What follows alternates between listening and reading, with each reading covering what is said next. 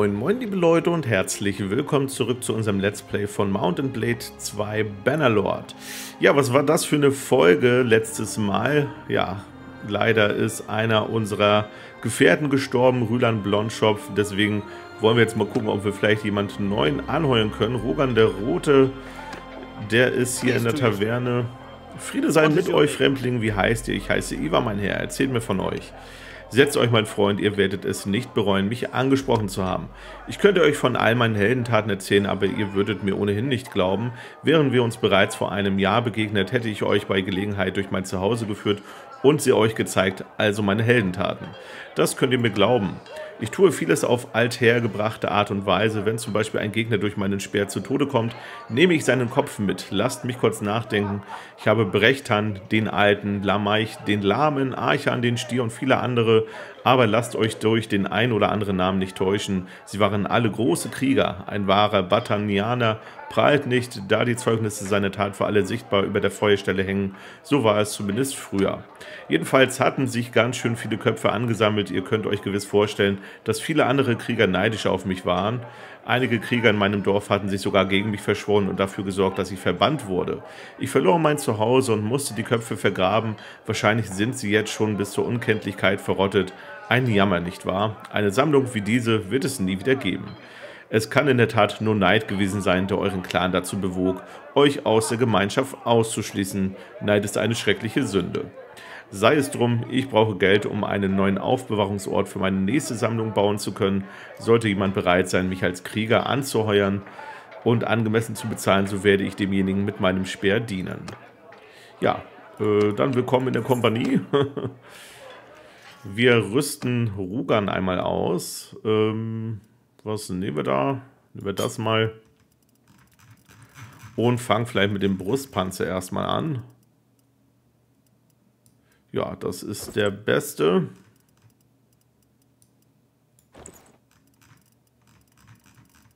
Und dein schöner Bart verschwindet leider auch unter dem Vollhelm hier. Was soll man machen, ist zumindest das Beste, was wir hier gerade haben. So, du kriegst Kettenfäustlinge. Passt rein optisch gut und diese Kettenbeinlinge. Und dann wollen wir dich noch ein bisschen ausrüsten. Schauen wir mal, was haben wir denn hier?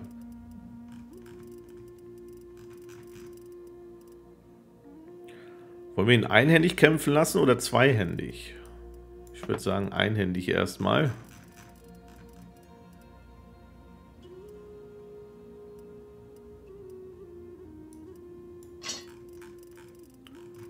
Und dann vielleicht noch Pfeil und Bogen.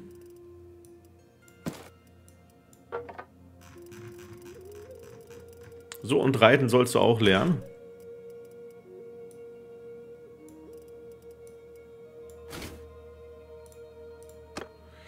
Super, ähm, dann brauchen wir natürlich noch einen neuen Baumeister, weil Rülan jetzt tot ist. Das ist sogar Rugan hier, der Rote, der Beste bisher. Das lassen wir mal so.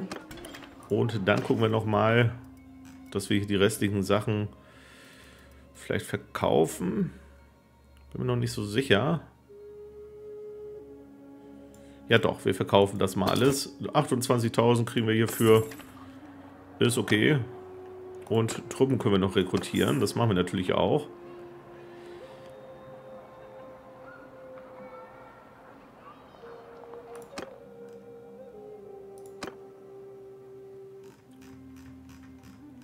Okay, eine eigene Armee gründen fällt irgendwie raus.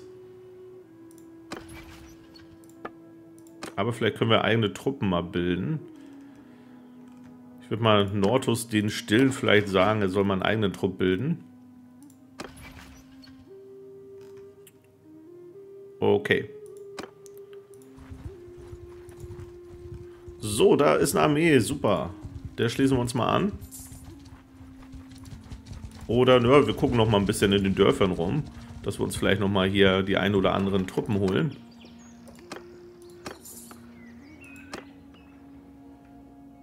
So, speichern mal.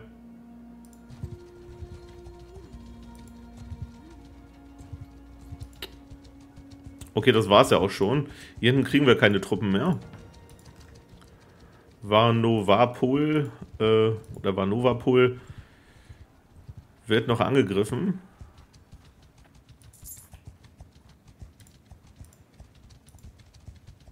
Okay, die Armee verfolgt uns. Mal hier hinlotsen. Zu der großen Armee. Ah, vielleicht traust du dich ja.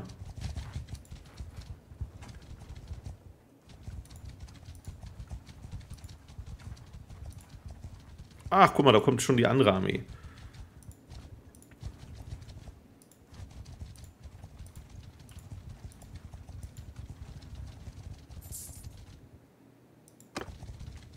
Armee beitreten. Es wird spannend. Aber die Armee ist irgendwie schneller. Okay. Ähm, ja, die haben sich zusammengefunden. Ähm, ja, greifen wir mal an. Das wird eine Pattsituation hier. Ist nicht so richtig klar, wer das gewinnt am Ende.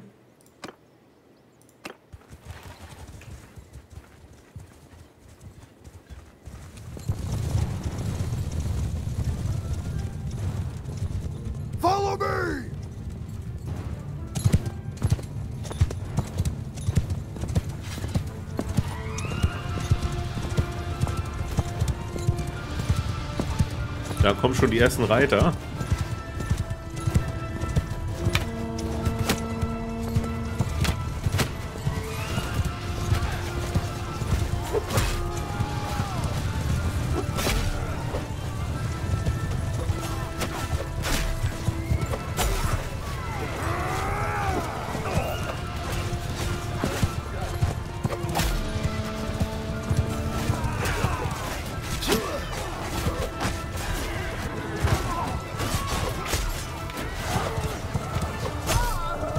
So, weg mit dir. Schwertschwester.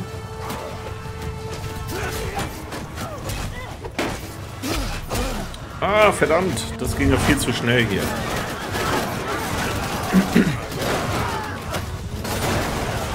Oh Gott, also da kommen einige Truppen der Kuhzeits nach. Aber von uns auch. Rugan der Rote kann sich hier direkt mal beweisen. Aber auch der liegt jetzt im Schnee.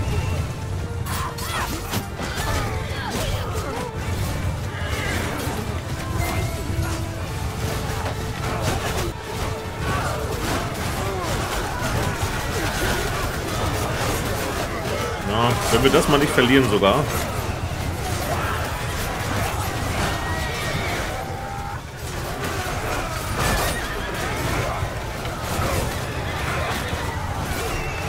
Hält sich immer so ein bisschen die Waage hier, ne?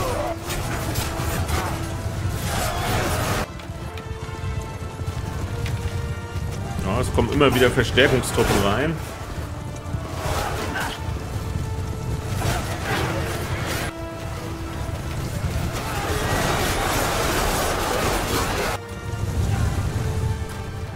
Euch mal das Schlachtfeld an hier.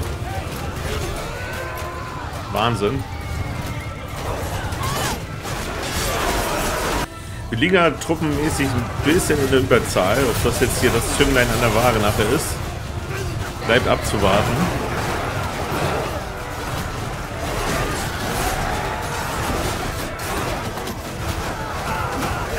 Oh, das sieht nicht gut aus für uns.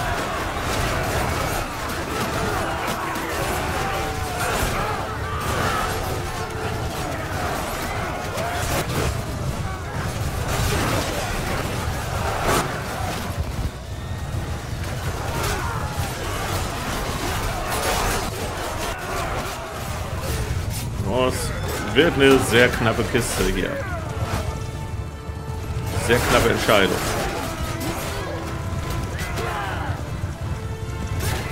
Sturgia muss diese Schlacht gewinnen hier. Um den Osten vielleicht zu halten. Aber wir verlieren, Leute. Wir verlieren. Wir verlieren tatsächlich.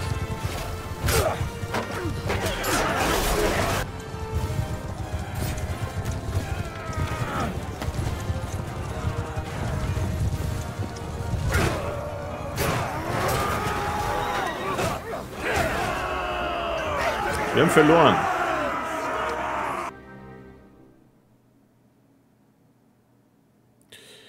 Äh, wir können die Armee verlassen oder Truppen entsenden hier gegen die restlichen 66. Könnt ihr mal versuchen. Da verlieren wir natürlich. Aber das Schöne ist ja, wir haben ja eben gespeichert. Deswegen würde ich sagen, laden wir einfach nochmal.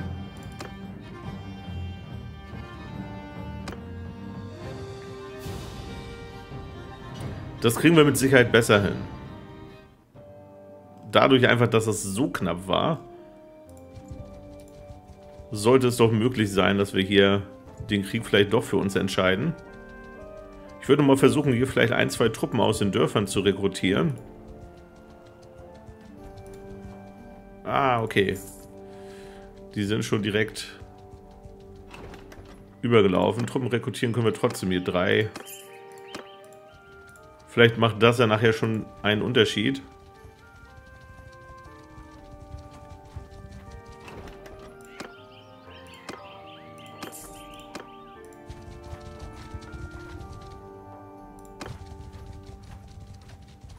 Es wäre natürlich auch toll, wenn wir eine der Armeen einfach ausschalten könnten. Statt gegen beide kämpfen zu müssen. Aber ja, wir sehen es. Äh, wir haben nicht sehr viele Truppen mehr. Wir es einfach mal so rechnen lassen. Okay, da gewinnen wir. Schaut mal, das ist schon ein Unterschied. Ilmir ist auf dem Schlachtfeld gestorben. I yield. Grant me the honors of... I give up.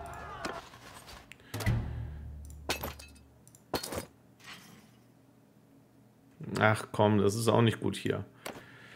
Das ist auch nicht gut. Ilmir ist nämlich einer unserer äh, unserer Clan-Leute. Können wir nochmal gucken gerade. Wenn der jetzt gestorben ist, das ist halt nicht gut. Können wir nochmal gucken hier. Clans. Da, der Ilmir. Der ist ein großer Fürst, der hat auch einige Ländereien. Das ist nicht so schön, wenn der stirbt.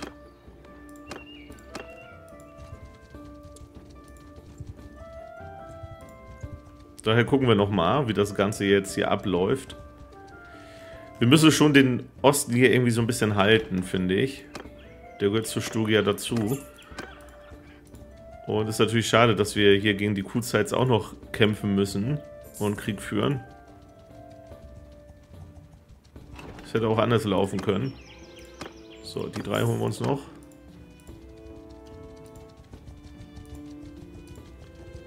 So, vielleicht lutschen wir die einfach mal so ein bisschen weg hier gerade. Okay, klappt auch gar nicht so gut.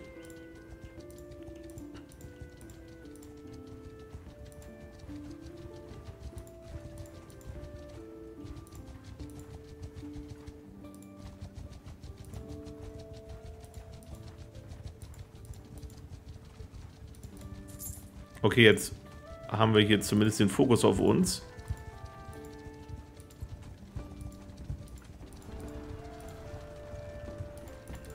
Ah, verdammt. Da müssen wir dann jetzt eingreifen. Okay, wir entsenden Truppen. Und schau mal, ja, das läuft gut. Und keiner ist gestorben. So, die lassen wir natürlich alle frei hier, die Leute. Und die Gefangenen nehmen wir mit. So, wir haben einiges an Leuten, die wir hier befördern können. Vor allen Dingen hier die ganzen Rekruten. Stufe 2 Soldaten sind natürlich jetzt auch nicht unbedingt besser, aber ja, der Weg nach oben, der ist halt steinig. So, den befördern wir auch nochmal. 1910 Goldstücke. So, und da haben wir wieder einiges an wertvollen Loot. Das ist schön. So, und wir schließen uns dann mal Mischt euch nicht ein. Achso, die belagern schon. Ja, dann schließen wir uns der laufenden Belagerung mal an, würde ich sagen.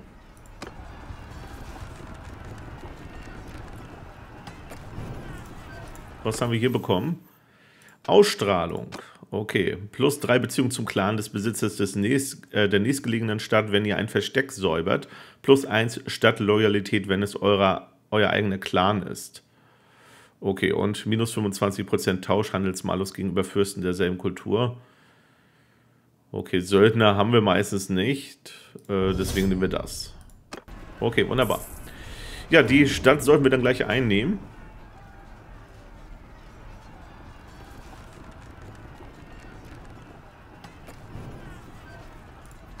Das lassen wir auch mal schnell berechnen. Das läuft. Is that you? Ja, du kannst auf jeden Fall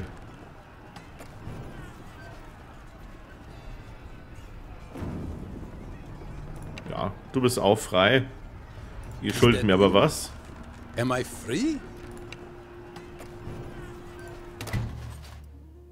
So, und Truppen können wir wieder auffüllen. Kuhzeit Jäger. Die Angeheuerten, die lassen wir mal hier. Die glatte Schwertschwester nehmen wir aber mit. Ja, dann nehmen wir die auch mal mit.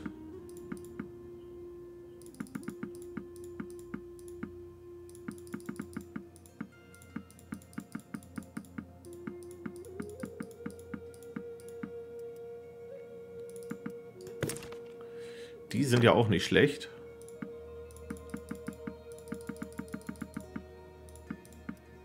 Söldner Streitkolbenkämpfe, die können wir nochmal aufleveln. Die nehmen wir auch mit.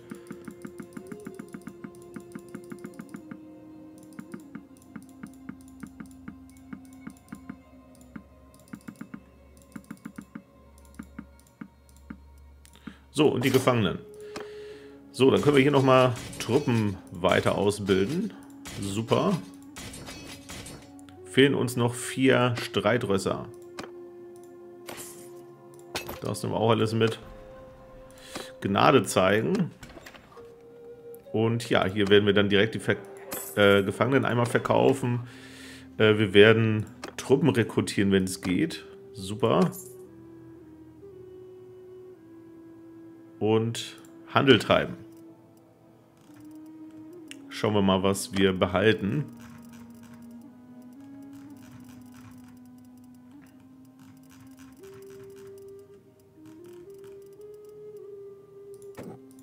Die behalten wir einfach mal für den Notfall. Und ich glaube, der Rest, das kann alles weg.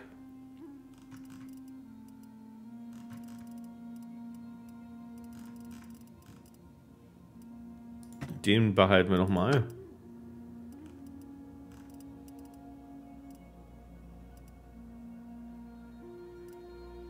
Ja, die möchte ich dann gerne einschmelzen. So, alles weg. Da kommen wir auf jeden Fall ein bisschen zu Geld. Humalgalt, der Schmied, ja, den brauchen wir nicht. Okay. Das sah doch schon mal gar nicht so schlecht aus. Kaladak von den Batanianern erklärt uns den Krieg. Auch das noch.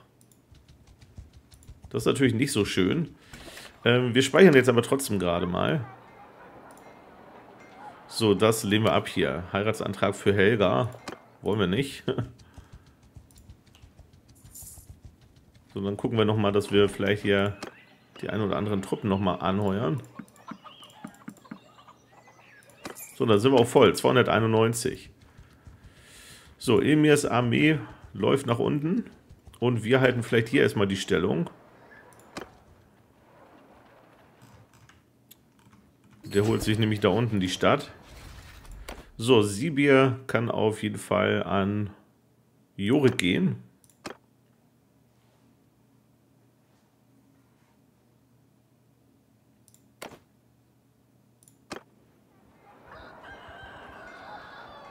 Was ist hier los? Ähm, Roda. Medizin. Okay, da würde ich hier die 5 Trefferpunkte und die 30% Regeneration nach jeder Schlacht nehmen. Das ist immer gar nicht verkehrt. Und vielleicht nochmal hier was in Handel stecken. Und wer war noch? Helga. Hat in Handel eine neue Stufe erreicht. Ja, auf jeden Fall hier für die Karawanen, weil sie immer die Karawanen ähm, ja, unterhält. So, und dann warten wir mal weiter. Bin mal gespannt, wie die Schlacht hier unten abläuft.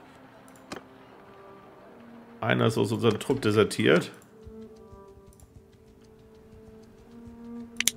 Wir können natürlich auch hier versuchen, dass wir da nochmal mitmischen. Ja schon einen Unterschied, wenn wir mit dabei sind. Ach, gegen 100. Ja, das sollte schnell gehen. Das sollte schnell gehen, Leute.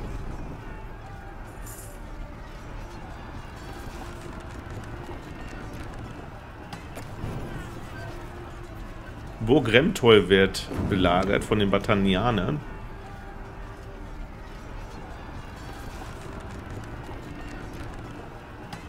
Guck mal, da ist schon wieder eine Armee hier. Kintex Armee. Können wir vielleicht mit dem Imperium Frieden schließen? Das möchte keiner. Okay, dann muss das erstmal weiterhin so bleiben.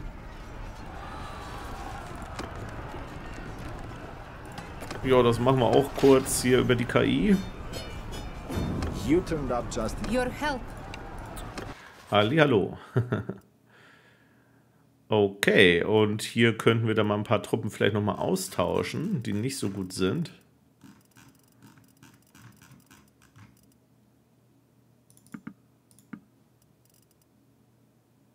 Den nehmen wir mit, den nehmen wir mit. Ja, nehmen wir erstmal die ganzen guten mit.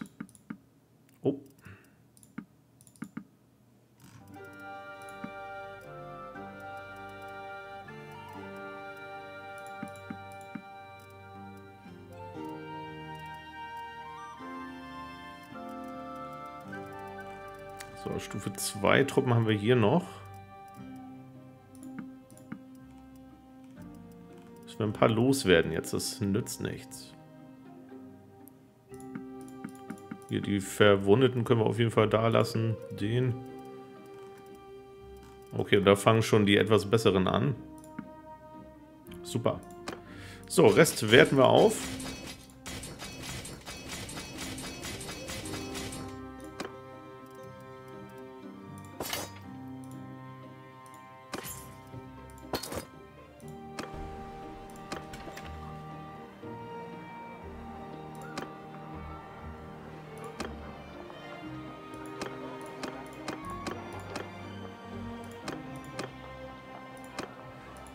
Ja, Festgelände ist gar nicht schlecht. Braucht nur noch einen Tag.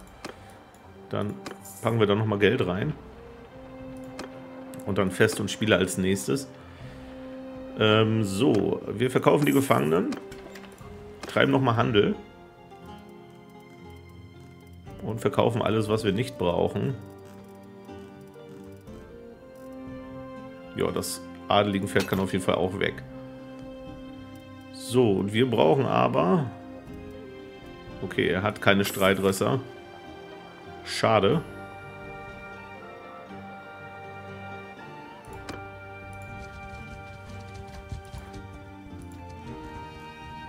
Okay, Sibir ist noch da. Ah, wird jetzt aber von der Armee hier angegriffen. Könnten wir aber schaffen. Statt auf die große Armee zu warten. Regeln wir das hier.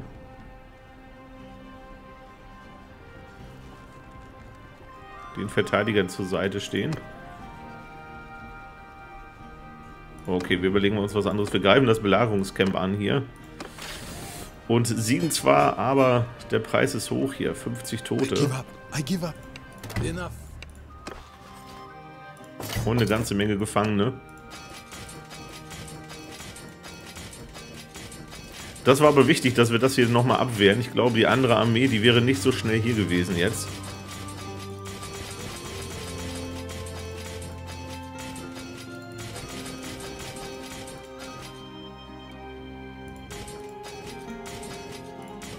Okay, Streitrösser brauchen wir. Eine Menge Streitrösser. Das nehmen wir auch alles mit. Okay, und auf in die Stadt. Schön. Dann haben wir hier ja schon mal wieder einiges erobert. So, wir verkaufen unsere Gefangenen und treiben Handel. Ich denke, da kann eigentlich alles weg. Wobei, die können wir behalten. Behalten wir auch mal.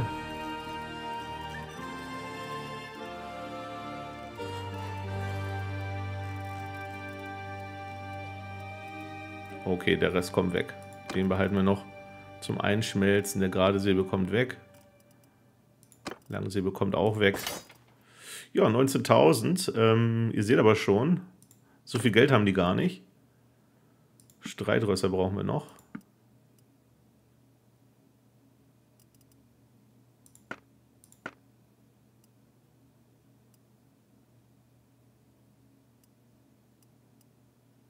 Ja, die haben natürlich auch tolle Sachen hier.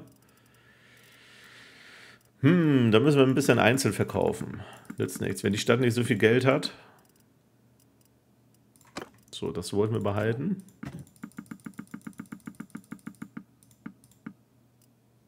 Den wollten wir behalten.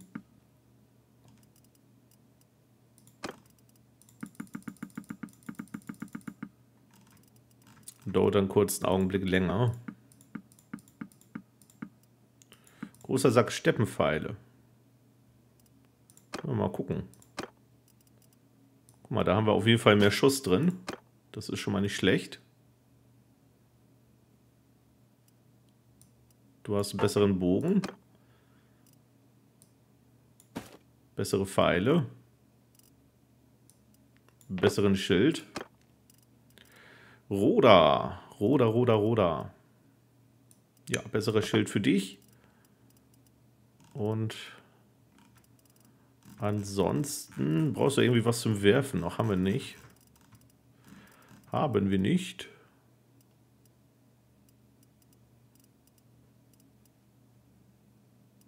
Okay. Und dann sind wir auch schon wieder bei uns. Alles klar. Anderen Sachen kommen weg.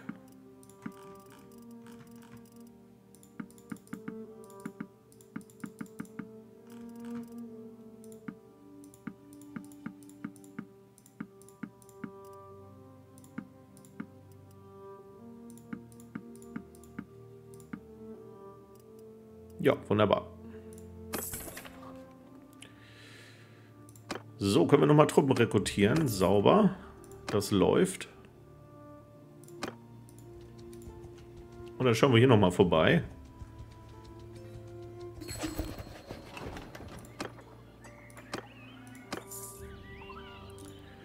Besitzer von Vanovapol.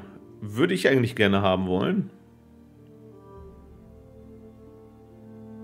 Okay, kriegt er die?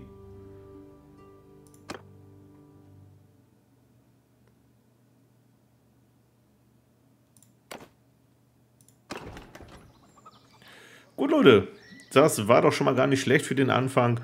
Ich würde mich freuen, wenn ihr zur nächsten Folge wieder einschaltet, wieder mit dabei seid. Und dann werden wir mal gucken, ob wir hier ja, den Krieg an drei Fronten irgendwie überstehen und ja, nicht alle Ländereien hier verlieren. Das wäre sehr schade. Ähm, lasst gerne ein Like oder Kommentar da, wenn euch die Folge gefallen hat. Da würde ich mich auch sehr darüber freuen. Bis zum nächsten Mal.